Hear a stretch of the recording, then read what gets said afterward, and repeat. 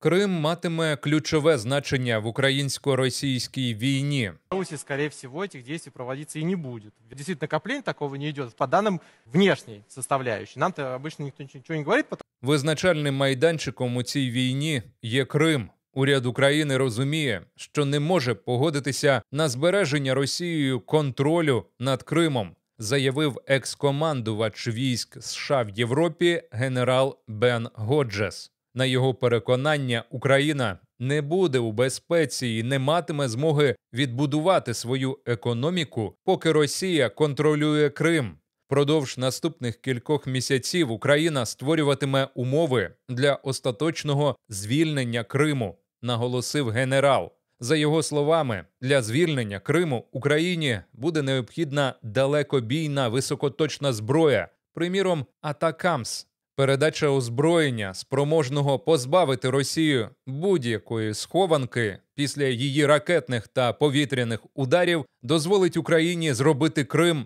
непридатним для росіян, зазначив Ходжес. Він додав, що звільнення Криму також потребуватиме ізоляції півострова від Росії та руйнації Керченського мосту. Рифат Чубаров, голова меджлісу кримсько-татарського народу, з нами на зв'язку. Вітаємо вас.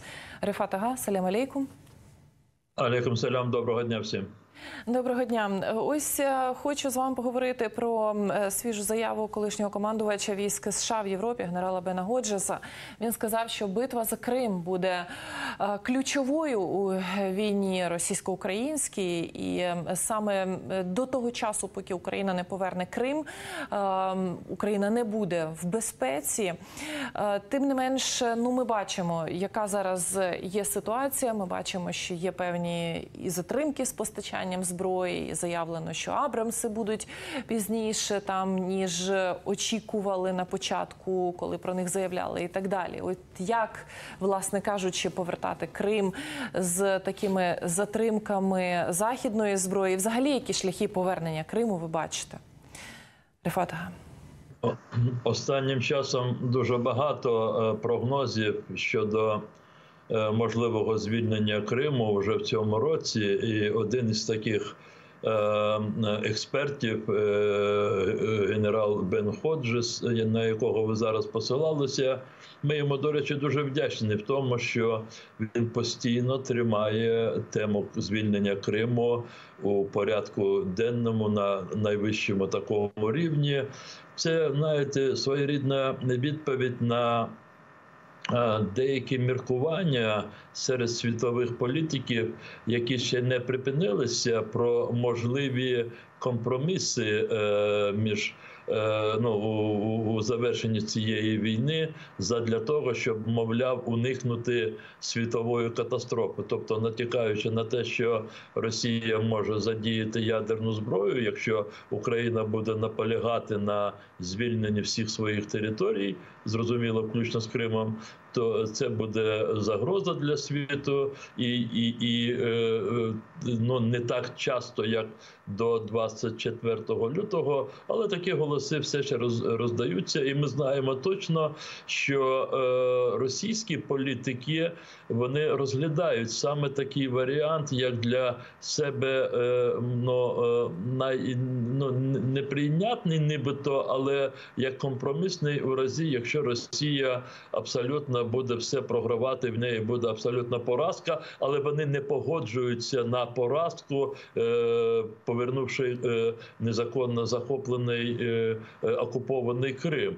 І тому от таке нагадування постійно, і тим більше прогнози, яким шляхом може бути звільнений Крим, це абсолютно відповідає настроям українського суспільства. Треба сказати, що і баченню вищого керівництва, військового, політичного України. Але всі ці прогнози вони базуються на тому, ну на е, низці чинників. І в першу чергу це своєчасне постачання тієї зброї, яка е, сприятиме звільненню Криму. В першу чергу це далекобійна артилерія, е, завдяки якій можна досягати військові об'єкти на території самого Криму. Це Севастополь, морські причали, кораблі Чорноморського флоту і на морі також. Е, Це е, можливість вразити, е, е, підривати е, міст через Керченську протоку. Це другий фактор, бо це дуже важливо, важлива військова комунікація. Ну і третій це.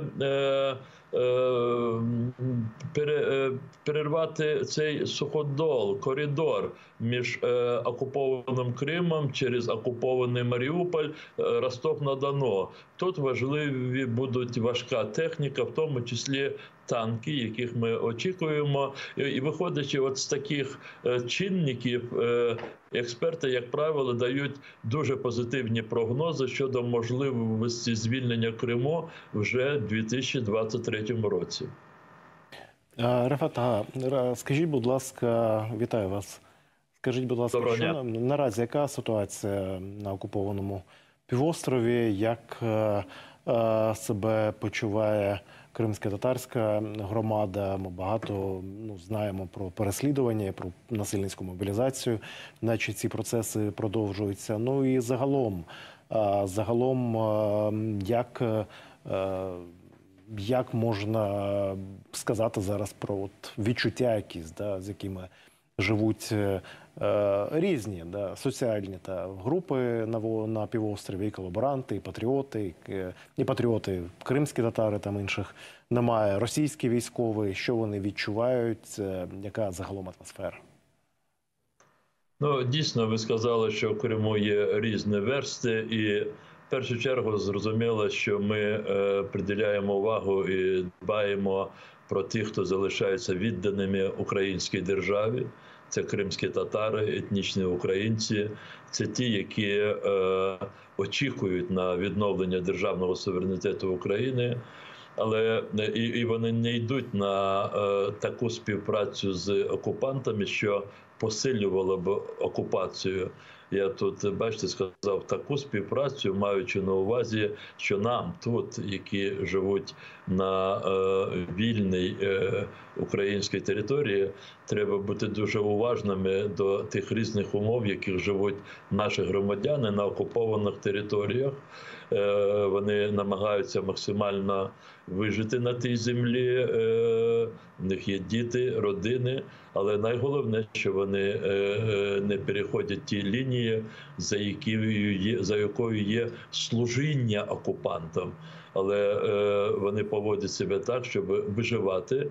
Ми маємо зараз готувати своє законодавство, спираючись на норми міжнародного гуманітарного права. Щоб і ми маємо вже це зараз робити, щоб потім вже знаєте не розводити руками, коли вже будуть вибудовані у звільненому Криму військові е, цивільно-військові адміністрації, бо е, там буде дуже багато роботи. Але ж ми е, маємо в першу чергу українське законодавство у розумінні е, відповідальності, покарання спрямувати саме проти тих, хто колаборував е, напряму з російськими окупантами. І е, от е, тепер переходжу до другої категорії людей, до місцевих колаборантів. Зрозуміло, що вони дуже великі розгубленості. Якщо ще рік тому.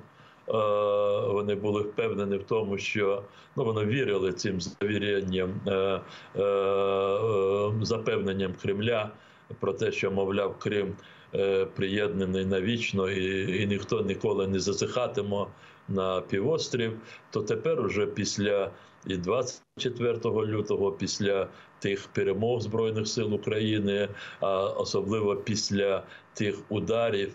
По військових об'єктів, які відбулися у серпні, по е, військовому аеродрому Новофедорівці під Саками, е, під Жанкоєм був підірваний дуже потужний такий військовий об'єкт, е, склад боєприпасів, да, і, різні інші штаб атакований Чорноморського військового флоту Росії.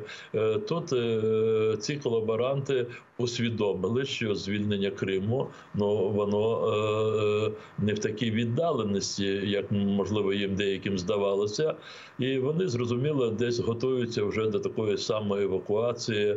Е, Частина з них ми точно знаємо. Ми слідкуємо за деякими, як кажуть, своїми е, в лапках зрозуміло колаборантів. Ми знаємо, де на якій території е, власне Російської Федерації вони вже придбали нерухомість. Вони готують до евакуації свої родини. Друзі, продовжуємо розвивати україномовний YouTube разом. Будемо вдячні за підтримку нового проекту TV.UA Sport. Щодня вашій увазі найактуальніші новини. Якщо розповідати про спорт, то українською. Посилання на канал в описі під цим відео. Підпишіться на канал і не пропускайте нові відео. Пишіть коментарі і діліться з друзями. Ми також будемо вдячні за підтримку нашої роботи на Patreon або інших зручних платформах. Реквізити в описі до відео.